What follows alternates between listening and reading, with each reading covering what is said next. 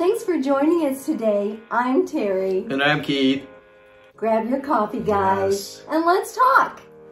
Today we're going to talk about the importance of decluttering. Or getting rid of junk. Yes. You know, for me, one of the very first things I think of when I say getting rid of junk or decluttering is that it makes it much easier to clean the house. That is so true. Like if your house is like just a mess, yeah. like I can't clean until I first go through and pick things up and put things away. And so the less clutter you have, the easier it is to keep your house clean. And it just makes yeah. sense. The less stuff you have, the less clutter. It just makes it easier. And less time consuming. I know I normally run the sweeper more than what Terri does. And when I'm running the sweeper and I gotta stop and move something so I can run the sweeper around there, not only is it aggravating, but it's time consuming and it's just so much easier if you just go ahead and get rid of all that junk, declutter, it makes cleaning so much faster. And then not only does it make it so much faster, there's uh, less stress, less anxiety, because things are gone that before you had to pick up or move around. So for me, it's a lot less stress when we declutter. It's, it's amazing when you have a lot of clutter, the stress that that brings on. I mean, if you have a lot of clutter, you're constantly having to look for things yes. because they get lost in the sea of stuff that you have. Um, and it just, it just makes you anxious. I know my desk right now, as a matter of fact, needs to be decluttered. Yes. And when I go and I sit down, it's like, oh, it's it's overwhelming. Like, because, where do you start? Yes. And when you think, oh my gosh, like it makes you almost paralyzed when you see there's so much clutter and you don't even know where to start. But the thing is, when, when things get that bad, when my desk gets so cluttered, before I try to do anything, I go through and I declutter and I straighten it out. And that way I can go and I can do what I need to do. Because just the thought of seeing all this unnecessary stuff, it makes me anxious. Yeah. It makes me stressed. Very stressed. And I can't get anything accomplished because I feel like I'm paralyzed. Mm -hmm. But always remember to start small. If your house is just a complete disaster, don't say, I've, I've got to get this house clean today. Start small. Today, I'm gonna organize a drawer in my kitchen. Make it very specific, make it very small. And once you get that done, it's such a great feeling that then you feel, okay, I can do another drawer. You know, don't try to do so much in one day that it, it's just too overwhelming and you can't even think about it. Just, you eat an elephant one bite at a time. And it's the same way when our, That's true. our house gets a cluttered up mess. Just one step at a time and it'll get done. And what I'm bad about is when I try to do something, I go in there and start to do it, and I, it's just overwhelming. I say, well, this can wait till next week. And then next week, this can wait till the next week. And then before long, it's even worse, so much worse that you just never end up doing it and it's a total mess. It snowballs. It you know, if you don't take care of the clutter, it snowballs. And then, and it just, it just really causes stress and anxiety. And so it's very important that we declutter. All right, last time when we went and we did our yard sale, I mean, we were amazed at how much duplicate stuff that we had bought that we really didn't need in the first place. Mm -hmm. And that's one of the benefits of decluttering. Like, you know, you might think that you're at the grocery store, oh man, I've got to get, I've got to get this because I know I'm probably about out. And then you clean out the cupboard and you find three or four. So you, that's why it's just so important that you keep on top of it. Uh, there's a group on Facebook that every year they go through their whole house. One week they do each room and that way your your house has gone through at least once a year and it keeps from all that clutter from Yes. building up. So, you know, if you need motivation from an outside source, you know, look for a group that you could join that would motivate you to, you know, to Make you accountable to clean up. Yes. And then another thing that I found out when we declutter and and not only is there less stress and less anxiety, but but you feel much so much better when you go to bed at night that you sleep so Yes. much better.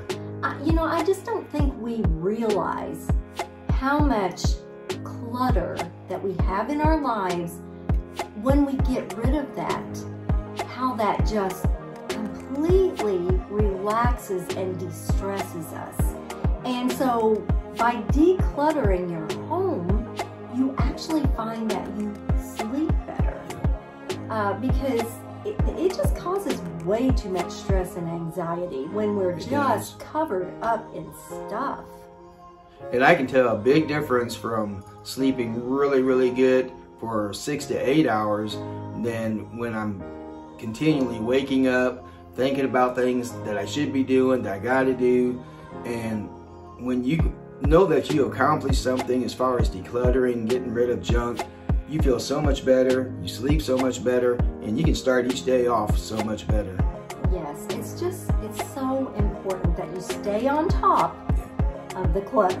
and it's you know it's very healthy you know and it helps you when you do declutter that when you do clean there's less dust. And dust you know for me leads to allergies. And and allergies is bad here in Kentuckiana area anyway. And and the less allergies I can have the better it's going to be. Yes, when you have stuff, just unnecessary stuff laying around, it collects dust. it does. And you can keep your house so much cleaner and so much more dust free um, if you just keep that clutter under control. And like I said before, it can be it can be so overwhelming. You look at it and you think, I don't I don't even know. I don't even know where to start. Start small. Start with a corner of the table. Maybe your dining room table is is the catch-all zone. you know, instead of trying to get through it all, I'm going to do this corner of the table and get that cleared and then work on other little areas.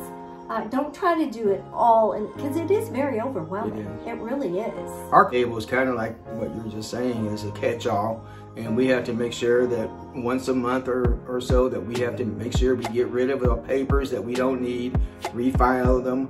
Uh, we have so much stuff on the table at times, you know, when we sit down to have coffee or something, it's like, okay, we got to do something again. That anxiety, that stress, because I need room for this or that, and you just get you just get tightened and, and just stressed out. So Yeah, we you just don't have room to work So if you if it's cluttered with stuff. Yeah, so that's one area that we have to watch ourselves to make sure that that table just doesn't get overwhelming with stuff. Yes. And to do that, you got to stay focused.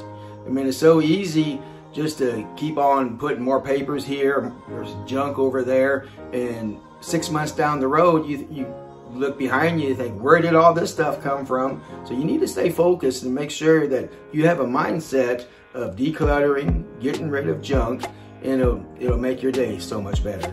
And it will help you be more focused if you don't have all that clutter around. Uh, you know, I there's people. It's not happened to me, uh, but people forget. They forget to pay bills because their bills come in and it gets mixed up amongst all their clutter, and they forget. Oh my gosh, I haven't seen that bill. Wonder what happened to it, and then it's past due. I mean, it, it's so easy to do. If there's so much clutter, when the mail comes in, if you don't take care of that, put it where it needs to be, it can easily get mixed in with a Yeah. bunch of junk, get thrown away, who knows.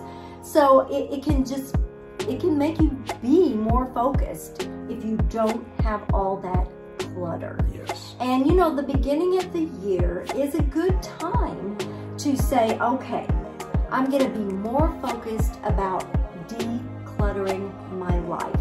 That's a good goal to set. I mean, we talked about goals last time. Last week we talked And about that, goals. That would be a great goal for everybody to, you know, start small, but make goals each month, each week, or whatever it is best for you to declutter. And what we did is after we retired, and we're probably going to do it again here Yes. soon, um, we went, we took one room a week. Um, and I think we chose a Wednesday because we didn't have our grandkids that day. And we would go through that room with a fine tooth comb. And anything that we didn't use, that we didn't want, that we didn't need, um, we got rid of. Yeah. And Either it we either put it up in the yard sale or we just gave it to Goodwill. It was unbelievable. Yeah. The stuff that we had from when our kids were little still. And it's like, why do we still have this? We don't need it. And so we got rid of stuff. And oh my gosh, was it freeing to know that we decluttered and we got rid of stuff. It makes you feel scatterbrained when you are surrounded by clutter. And it's hard to concentrate, It it's hard to focus, Yes. it's hard to get anything done. So that's why it's so important that we not allow clutter to build up Yes. in our house. So that's our challenge to you guys for this year is come up with a plan of, you know, what are you going to work on? Maybe it's just a room that you need to work on. Uh, maybe it's um, your desk. May, you know, if there's a, a part of your home that is really an issue, make it a goal of yours to go through and declutter. You just will be amazed at the stress, the anxiety that just leaves because that is now under control. So that's that's our um, encouragement for you. Yes. You can do it, uh, and it'll make you feel so much better. Thanks for joining us today for our coffee talk. If you would, please subscribe to our channel and give us a big thumbs up. It really helps us out. Mhm, It helps our channel grow, and we really Yes. appreciate it. We'll see you next time on Retired and, And Loving, Loving it. It. To see more of our videos, click the video that just popped up on your screen